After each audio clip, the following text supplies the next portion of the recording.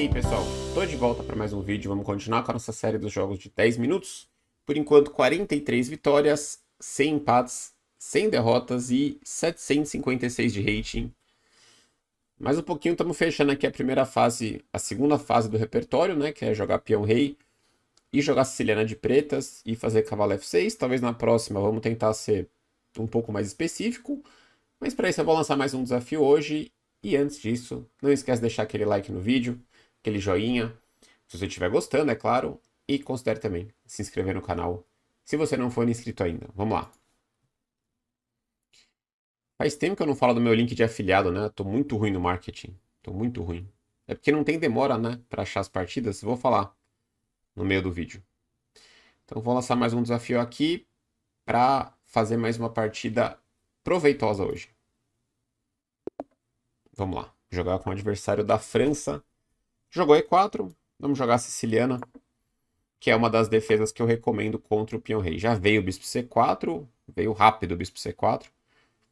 Aqui eu vou fazer cavalo C6 porque eu quero provocar a ameaça do mate. Eu quero que ele mexa a dama. Não, não mexeu a dama. Jogou tranquilo. Vou jogar E6 aqui.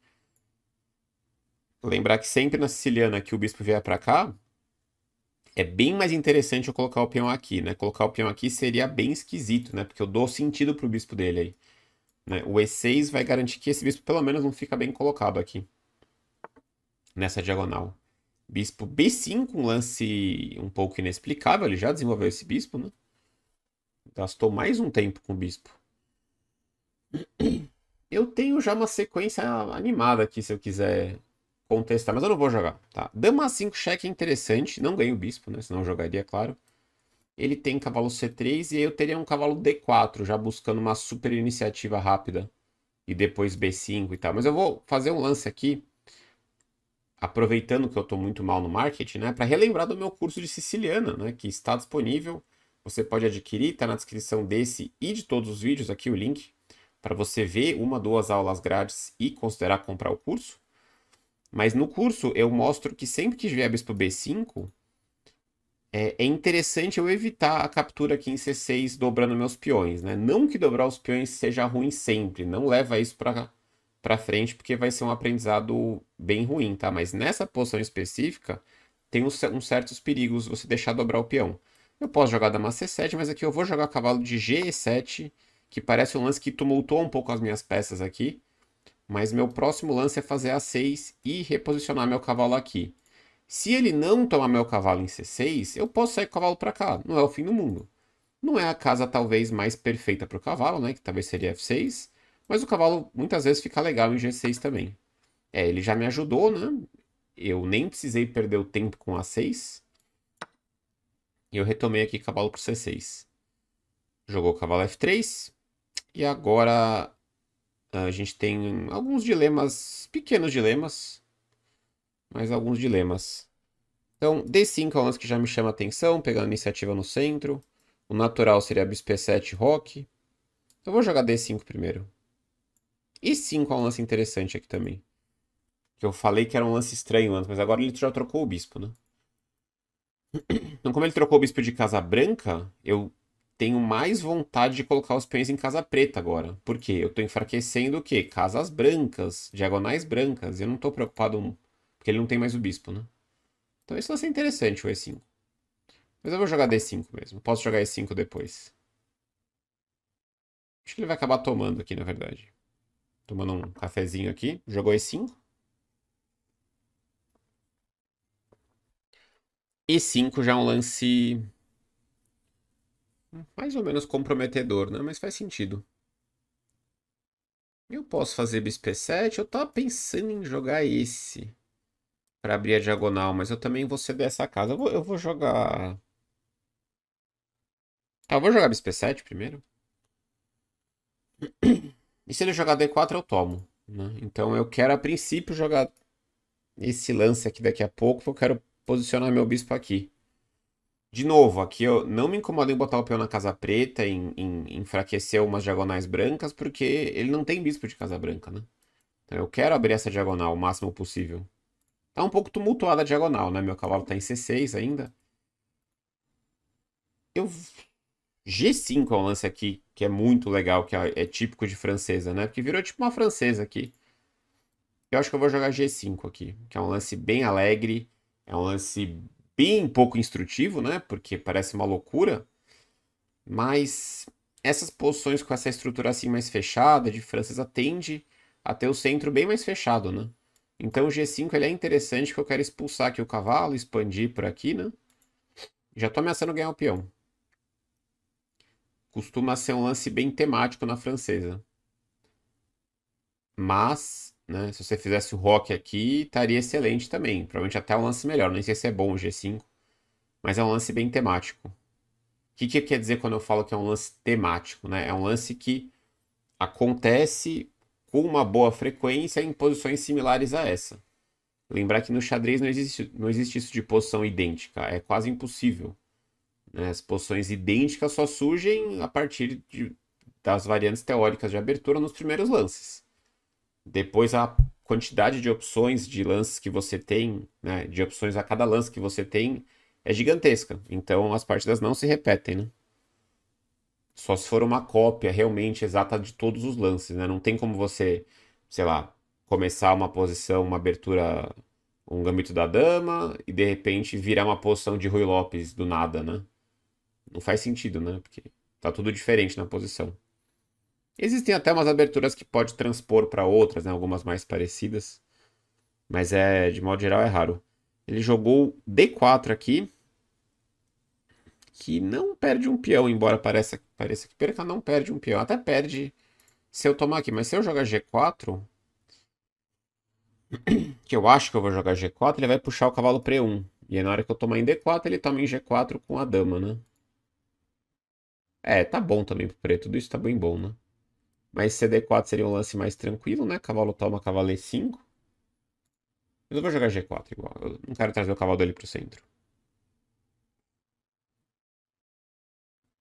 Quase derramando café aqui no teclado.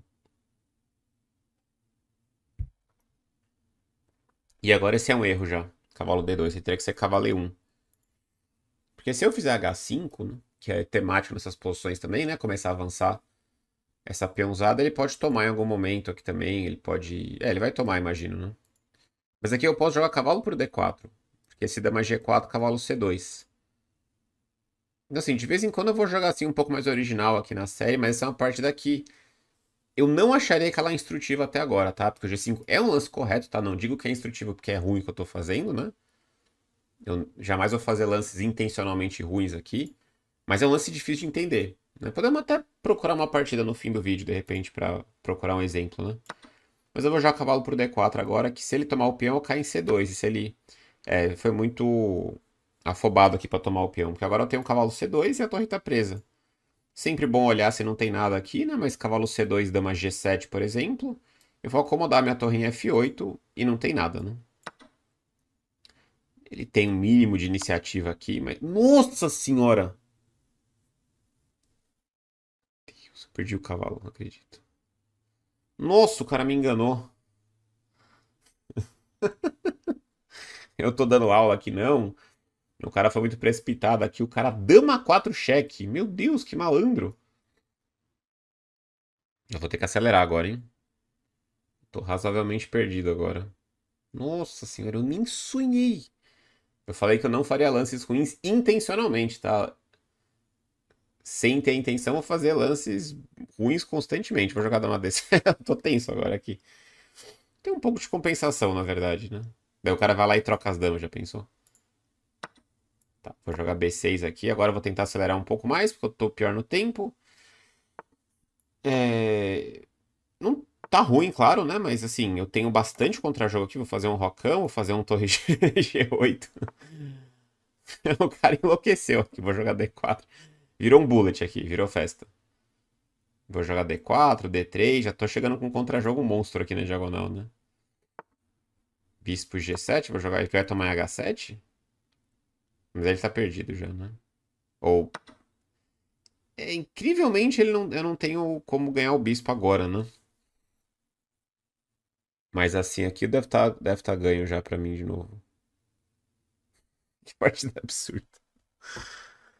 Ah, talvez F6 eu tenha, né? Em algum momento. Tipo, agora não.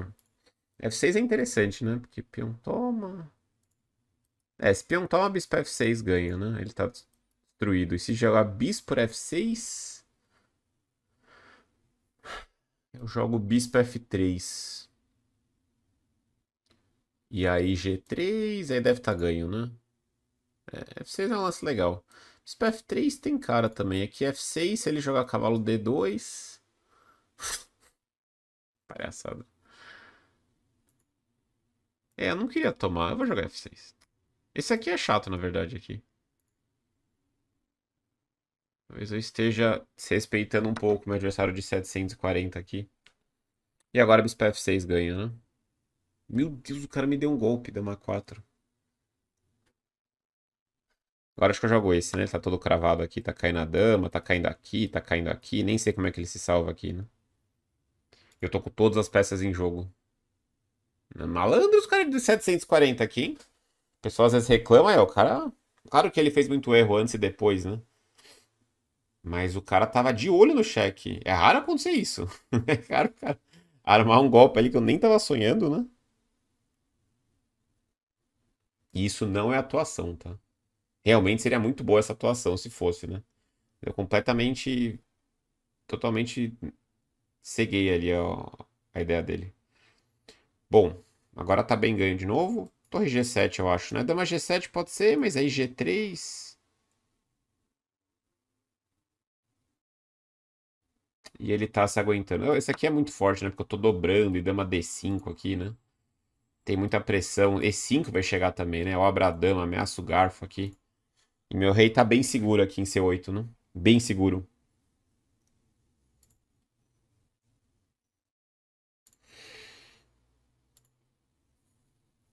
É, esse cheque é uma malandragem difícil de ver ali. O Dama 4 o cara jogou, né? Cavalo D2, tá certo. Vou fazer torre C8, torre G8. Pior que não tá tão fácil ainda arrematar aqui, né? Mas imagino que E5 vai ganhar a partida, né? Ou não.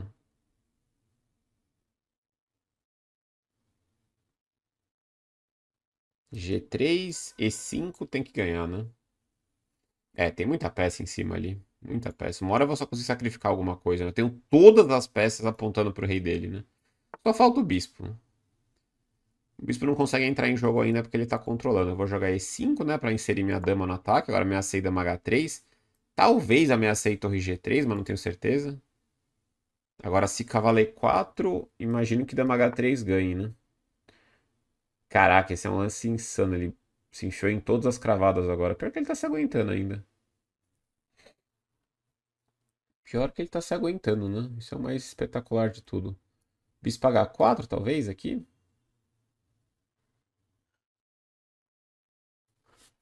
Caramba, tô tenso agora de verdade de novo. Achei que ia ser tranquilo. Dama D5, não, né? Torre H8, ele defende. Eu dobro de novo, ele defende de novo. Vai ficar nesse vai e vem, né?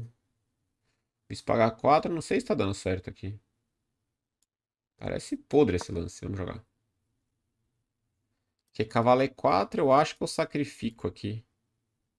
Tome, tome em G3. Também não é tão claro. não é um pouco claro. Cavalo E4, dama F5 leva um super duplo aqui, né? Talvez dama D5 contra cavalo E4. A questão é que eu não preciso nem estar tá tão afobado para ganhar aqui, né? Porque eu nem tenho material a menos, né? Eu poderia até jogar mais calmo, tipo um rei B8 aqui. É que eu tô com certo medo dele, dele colocar um cavalinho E4, né?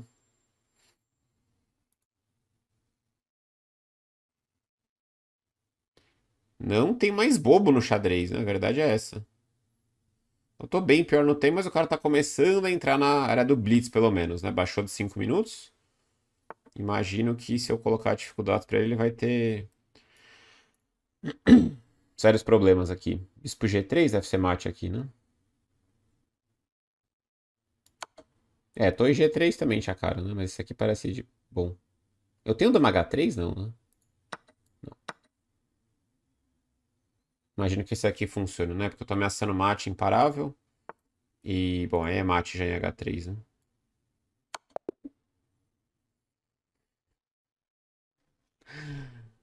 Caramba, e o susto? E o susto que o cara me deu ali com o Dama 4 cheque. Vamos pra análise direto, vai. Que aí a gente consegue fazer uma análise dessa parte um pouco mais calma. Eu vou tentar mostrar uma partida da francesa também. Com a ideia do G5, né? No último vídeo acho que teve algumas três partidas, né? Apu tá no chat aí acompanhando, mandou um bora. Na. Acho que ninguém viu a pendurada do cavalo, pelo jeito. O pessoal que tava acompanhando aí. Tô gravando um pouco mais cedo hoje. Vamos lá, fazer a revisão. Olha, não vi a precisão, tá, ainda. Vou colocar na tela para vocês. Tá, vou tentar adivinhar pela primeira vez aqui, que fazia tempo que eu não fazia isso, né, nos últimos, nessa temporada nova. Tô olhando para a câmera. Bom, tem uma super pendurada, né? Depois, não sei se foi bom também, mas acho que foi uns 82, talvez? 83, vamos ver. 75, com dois brilhantes. Que que é isso? Quase teve de tudo, hein? Teve dois brilhantes. Dois brilhantes? Bom, teve o bispo G3, claro, né? Sacrificando o bispo.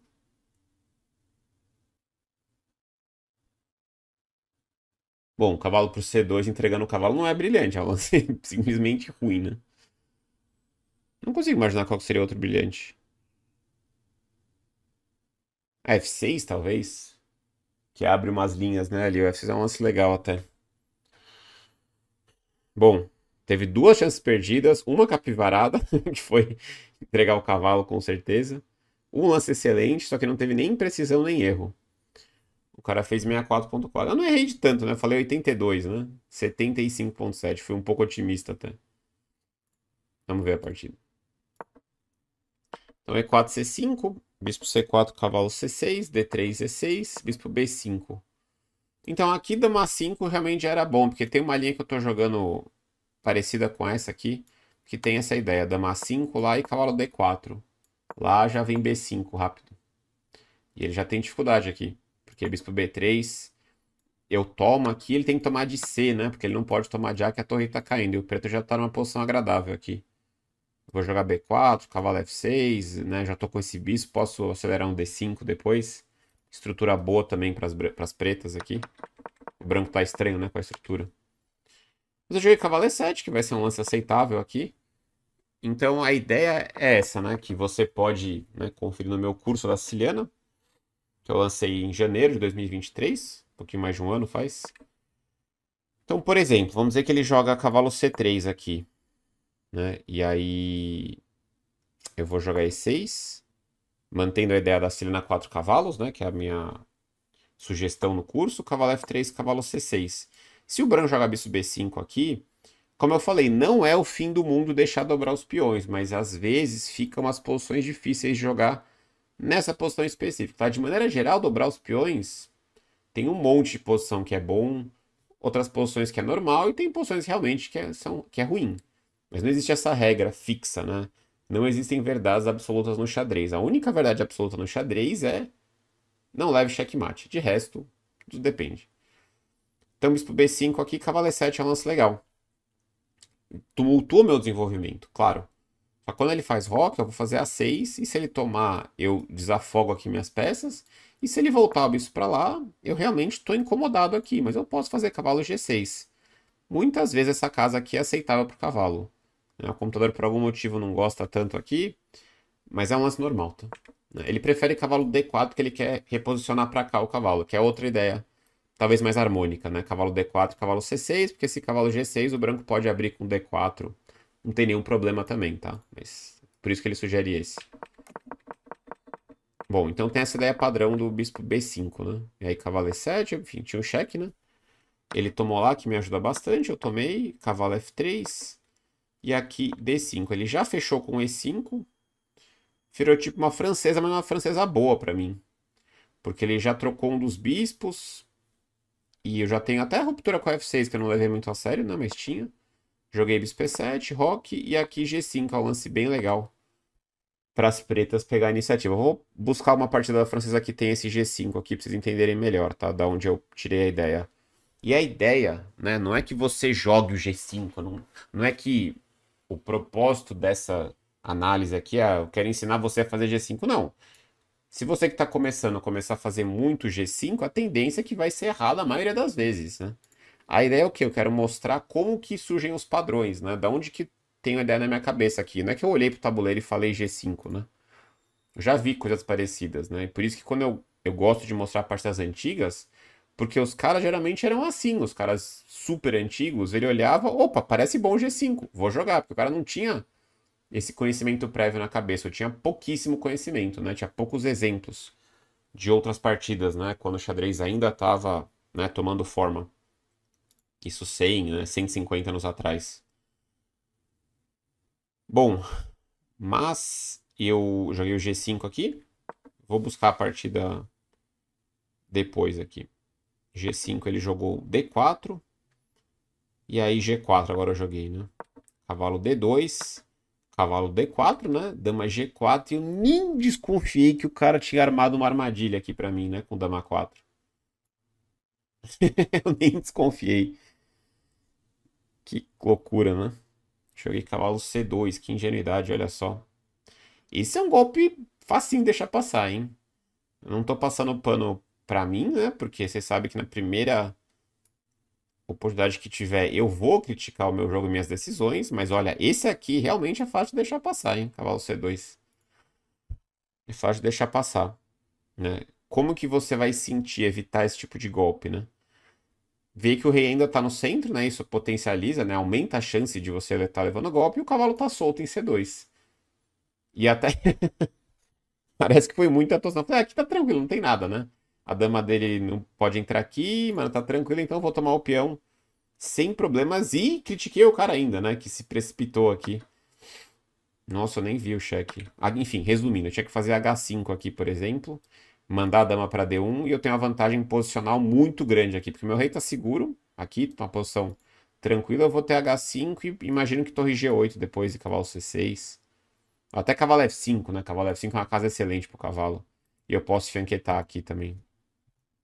E eu peguei um peão do centro, troquei por um peão de G, que é um peão que não cuida do meu rei no momento, que meu rei tá em E8 aqui. Né? Não tem nenhuma perspectiva do branco me atacar aqui no centro. Bom, eu tomei C2, ele deu cheque, me deu drible. E agora eu joguei B6, né? E o cara continuou numa velocidade absurda aqui, começou a jogar estranho. H3 não faz nenhum sentido, né? Bispo B7, cavalo F3, eu joguei rocão, ele veio o bispo H6. E agora eu joguei D4 abrindo o bispo, né? Bispo G7, torre G8. É, aqui ele já se cravou todo, né? Eu tinha que desenvolver cavalo D2 aqui. Não é fácil a posição não, tem muito contra-jogo. Bispo G7 lá, Dama H7, F6 é um lance bom aqui. Eu achava que era um lance bom. É um lance horrível. Ah não, Torre G8 é bom. F6 é um crime contra a humanidade. Bispo F3 mesmo. É o lance que eu tava querendo fazer, mas não queria dar esse bispo. Toma, toma. Ele tá super cravado aqui. Mas como que eu ganho aqui? Ah, agora eu jogo F6 ou F5. Porque bispo F8 cai a torre, né? Ah não, F5 aqui é, é uma vitória bem simples, né? Nossa, ele tá muito cravado e, e torto aqui, né? Tô ameaçando, tipo, bispo D6 e toma. E começando mil coisas, né? Bispo G5, enfim. Qualquer... Esse lance de bispo seria talvez o mais direto, né? E se reh 1 só pra entender aqui... Bispo G5. Ah, porque tá cravado aqui, né? Eu não preciso cravar assim, já tá cravado aqui, né? Eu vou recuperar aqui e vou dar mate aqui de algum jeito. Um ataque muito simples, né? Então, o F6 foi ruim porque ele tinha cavalo D2, né? Que é o lance que me incomodava mesmo, porque parece que ele tá se organizando aqui. Mas ele tomou, e aí sim o F6 brilhante. Tá sendo muito bondoso o brilhante aqui, né? Porque é um lance totalmente óbvio, eu não tô sacrificando nada, né? Se ele tomar aqui, eu ganho a dama dele. Não é um sacrifício, né? É o lance mais fácil da minha vida esse. Ele voltou, tomei de torre. Lá. Ah, já tinha a torre G2 ganhando. Nossa, a partida foi. Por isso que foi tão ruim a precisão, né? Tinha a torre G2, dama G7, que não é um lance tão óbvio, né? Mas tá com uma cara que vai levar mate, né? Se RH2 bispo P5, ele não pode tomar que tem mate. E RH1, torre H8, né? Seria bonito. Seria um desfecho bom, né? Para o começo absurdo que foi essa partida, né? Ah, aqui é imparável, né? O ataque. Torre H3 imparável. Esse RH2 de novo, bispo E5, né? Vai ser mate. E aí cavalo toma, dama G2 mate. Né? coordenada com o bispo aqui de B7.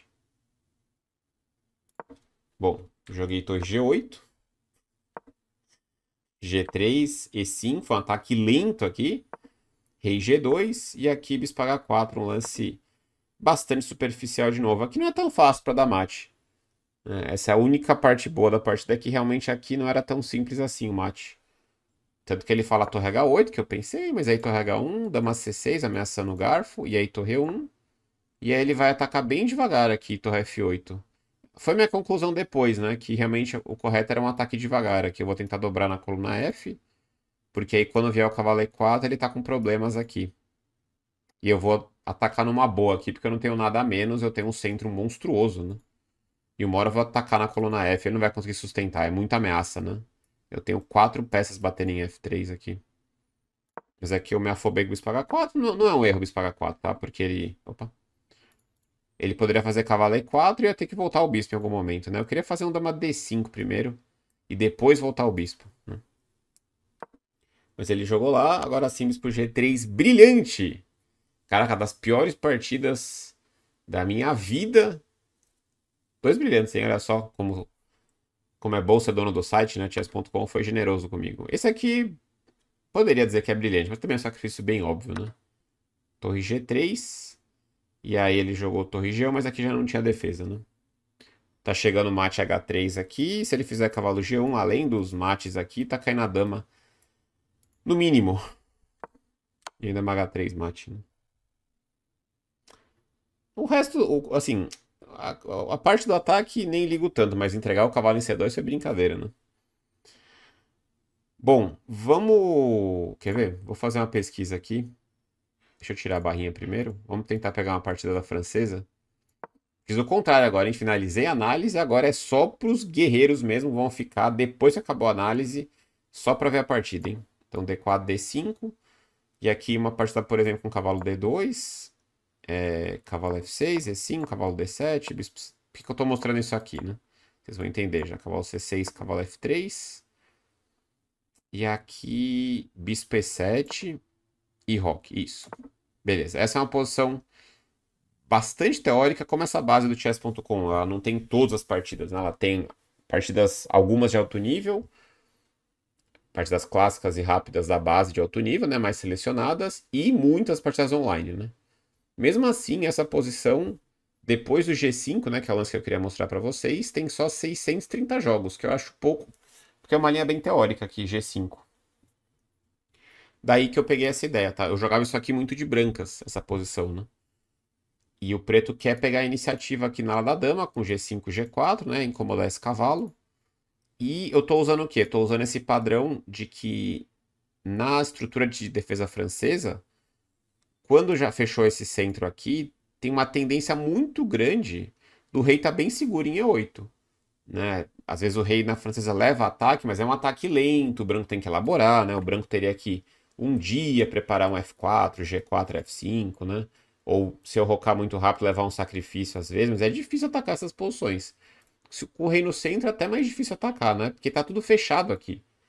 Né? É diferente, muito diferente de uma posição se ele tivesse tomado em D5 lá no começo e essa coluna tivesse aberta. Aí é outra história.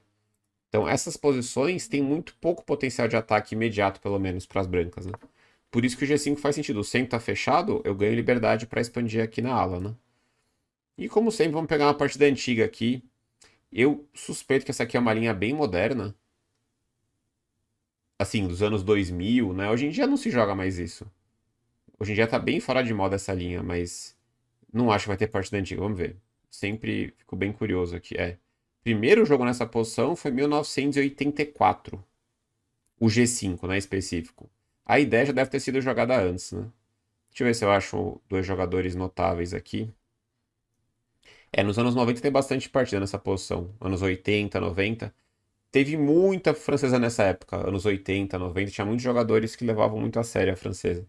Bom, Courtois jogava desde antes a francesa, né? Claro. É uma defesa bem antiga. Mas aqui o G5 já é um lance um pouco mais sofisticado, né? Tá, vamos pegar uma partida aqui. Essa aqui. Vamos ver essa aqui. Lothar Vogt, Vogt, não sei como é que fala, alemão, eu acho que ele é GM. E Thomas Paetz, né? Ele é o pai da Elisabeth Paetz, que é grande mestre da Alemanha, e o pai dela também é grande mestre. Eu acho que é um dos dois únicos casos do mundo, da história, que pai e filho, os dois são grandes mestres, né? Elizabeth, ela é uma jogadora, mas ela é GM no absoluto, né? Ela é WGM há muito tempo. Ela é mestre internacional no, absoluto também. Ela virou GM, eu acho que ano passado, 2023. Ela deve ter lá seus, talvez 40 anos, né? Conseguiu o título de GM agora, né? Um baita, uma baita conquista e pai e filho, então. Pai e filha, no caso. Os dois com o título de GM. Vamos ver o jogo do Thomas Paetz. Que é um jogador, enfim, aposentado hoje em dia, não joga mais. Uh, dois jogadores alemães aqui. Então ele jogou DC5 aqui de brancas, né? Porque aqui, claro, o centro está fechado, então a tendência do branco aqui é tentar abrir o centro um pouco, né? Então DC5 é uma reação típica. Se eu aceitar o G4 aqui, primeiro que eu posso perder o peão, e segundo que eu não vou ter contra-jogo, né? Então eu jogo DC5 e eu quero abrir essa casa para meu cavalo também. Joga G4 aqui, o Thomas Paetz, cavalo D4 e cavalo de C por E5. E agora bispo B5, né? Aqui bispo C2 é o lance. Se não me engano, até falei sobre isso uma vez, que essa era uma linha que era muito difícil decorar os lances, né? Porque o preço tem muitas opções aqui, né? Dá pra tomar aqui, dá pra tomar aqui, dá pra tomar aqui, dá pra tomar assim, né? Enfim, mas aí cavalo E5, bispo B5 foi jogado. E agora bispo C5. O preto ganha um peão, mas olha só. O preto ganha um peão, né? Óbvio que é o que todo jogador quer ganhar material, mas o rei abriu bastante. Então a proposta do G5 tá envolvendo bastante risco, né? Porque olha a situação do rei preto, agora não tá tão fechado assim, né? Tem linhas aqui contra o rei, né? Jogou F4, que é um lance temático. Não tomou em passant. Ah, achei que eu tomei em passant aqui. E aí cavalo F3 eu vou ter uma compensação é, uma compensação real aqui, né? Porque, por exemplo, toma aqui. Ah, não consigo fazer lance, né? Sempre esqueço. Toma, toma, toma, toma de dama aqui, já ameaça mate. Puxou o cavalo C6. Eu não posso tomar, né? Tá cravado. Puxou o cavalo B3, bispo B6 e rei H1. E agora descravou o cavalo, né? Jogou o cavalo D4, cavalo D4, A6. Típico lance de francês ali meio encolhido, né? Expulsando o bispo. Se tomar eu tô bem, né? Então o preto não quer... O branco não quer desafogar o preto, né? Jogou bispo A4. Dama H4. F5 jogou, lance bem agressivo aqui. É, agora sim o, o, cara que joga de pretas tem que mostrar habilidades de defesa, né? Porque agora tá tensa a posição. O F5, mas agora bispo C7 ele jogou. É só mate. Muitas vezes quem joga francesa ganha a partida no contra-ataque, né? Bispo F4, G3. Ameaçou mate de novo. Sacrificou o bispo aqui. Se cavalo F3 atacar na dama, eu tomo. Ganho uma peça. Jogou H3. E não tomou o bispo em F4. Bom, não vamos entrar em análises aqui, né? Mas eu acho que F por E6, né? F por E6, cavalo E6, aí toca no bispo, toca em D5, abre a coluna, aí fica uma, um perigo absurdo, né? Então o branco conseguiria abrir o rei nesse caso. Só que jogou E5 aqui, não tomou a peça, que parecia possível, mas absurdamente perigoso. Jogou E5, que é um garfo. Dama E1, cravou aqui, a partida tá muito legal, hein? Tá ameaçando bispo G3 também. B5, tá tudo atacado umas três peças atacadas aqui brancas, mas claro que não pode tomar que tá cravado aqui. Jogou bispo B3, agora tá atacando aqui, tá atacando aqui. Bispo B7. Bispo G3, o branco não vai perder peça, mas de repente o preto estabilizou aqui, né? Que loucura. É, tá estável o preto aqui, né? não tem nem material a mais o preto, mas eu vou fazer o quê? vou fazer rocão, torre G8 e eu vou atacar o branco aqui. Porque meu rei segue mais seguro que o seu depois do rocão, né? Esse centro é muito forte, né? Eu vou começar a abrir diagonais aqui. Jogou bispo H4, dama D6 e tentou manter a iniciativa com dama G3 aqui. É, se tomar aqui, não sei o que tá acontecendo. Bom, torre 1, né? Deve ganhar. Porque o rei não tem casa direito, né? Rei F8. Teria que ver bispo E7, depois toma em C7. Bagunça total aqui também, né? Enfim. Jogou cavalo C5. E agora o cavalo tá entrando aqui também, né? E claro, tá de olho no bispo. Cavalo F3. E aí jogou F6. Nossa, isso é muito típico de francês, esse tipo de partida, né?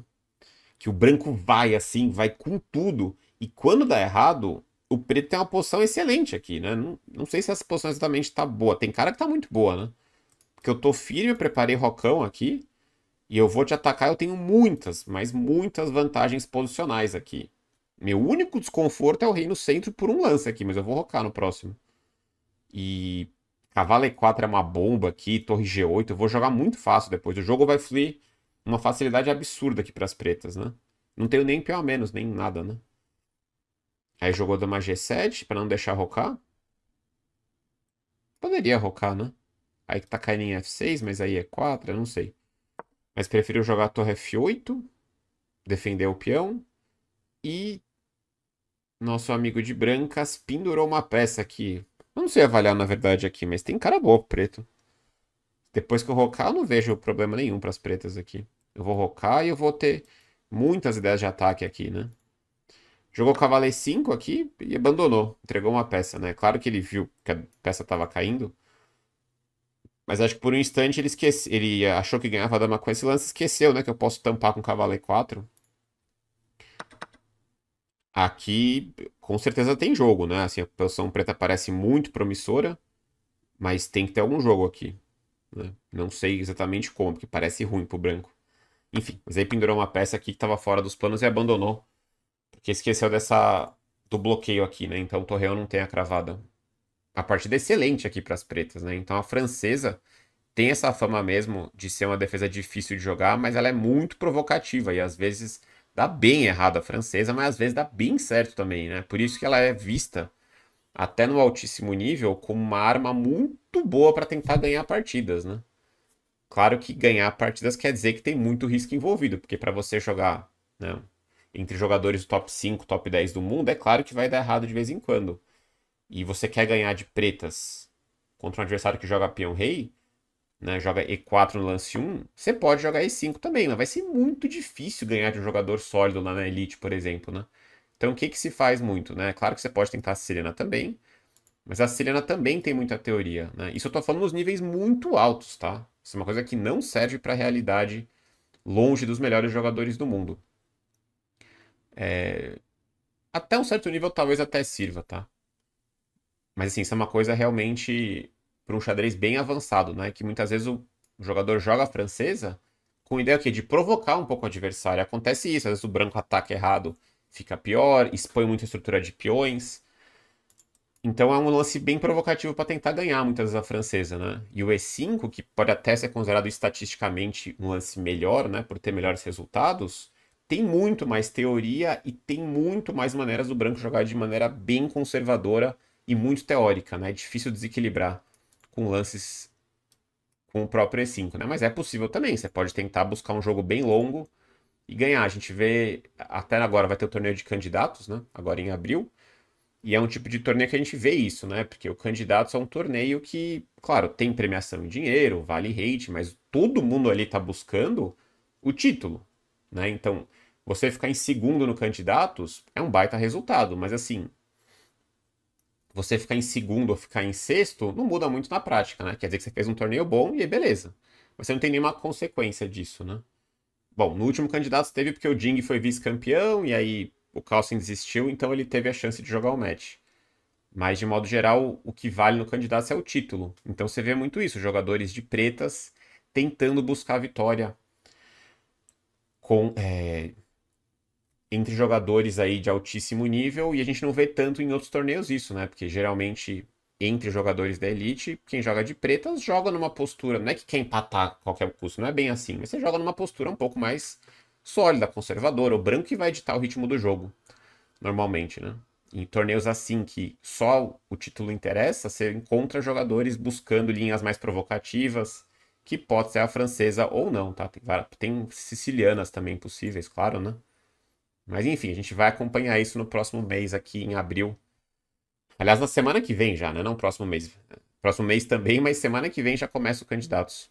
Vai ser legal acompanhar isso. Então a vitória boa aqui do senhor Thomas Paetz em 1987, né? Eu tinha um ano de idade quando essa partida foi jogada em algum lugar na Alemanha. Beleza, até desconectei aqui. Então, Uh, Mandaram aqui no chat, agora que eu vi. Teve mais mensagem no chat. Falaram que nessa partida ia ter capivarada, né? Que foi a que eu joguei, né? Que eu entreguei o cavalo. E realmente ele acertou, né? Porque teve a capivarada. O Strambis mandou no chat. Cabe mais três partidas hoje, hein, Cricão? Mal sabia ele que já acabou o vídeo, né? Teve uma partida hoje, né? Teve uma belíssima pendurada. Mas teve esse tema do G5 aqui na francesa. Na... Não foi a francesa que eu joguei, né? Foi uma siciliana. Mas deu para explorar uma partida de francesa e um pouco dessas ideias aí de centro fechado. Eu posso tentar expandir assim uma das alas e principalmente que vocês entendam a ideia de como surgem os padrões, né? Você vê muitas partidas repetidamente, você vai construindo, né, esse conhecimento. E uma pergunta que eu sempre ouvi muito né? Quando as pessoas perguntam, ah, qual é o melhor jeito de você estudar? Então, não tem segredo, né? Você tem que fazer muito treino de tática sempre. É importante, sim, a prática, não sendo em excesso, ela é muito importante, ela ajuda muito, principalmente jogos de pelo menos 10 minutos, né? Usando o, o mundo da internet hoje, né? Que acho que 10 minutos é o ritmo ideal para você encontrar um jogo rápido e conseguir pensar um pouco, né? 10, 15 minutos. Mas depois, quando você está evoluindo um pouco mais e você se sente travado no seu nível, você tem que estudar partidas. Não tem jeito. Você pode até evoluir mais, de repente, por ter alguma facilidade fazendo só exercício de tático, só fazendo uma coisa ou outra só jogando, mas geralmente você vai chegar no limite. Todo mundo, praticamente todo mundo é assim. Então, quando você vê partidas, vamos dizer, essas partidas da francês aqui eu conhecia, né? Serviu para fazer um lance aqui e eu não tô jogando francês, então não fica pensando nisso. Fala, ah, peguei para ver um livro de partidas do Fischer, mas aí tinha uma francesa. Eu não jogo nem peão rei de brancas, nem jogo francesa de pretas, aí eu pulei a partida. Não é assim que funciona, tá? Isso não faz sentido você só estudar partidas das suas aberturas. Não. Você tem que ter uma cultura geral de xadrez. Você vai conseguir aplicar as ideias em várias posições diferentes.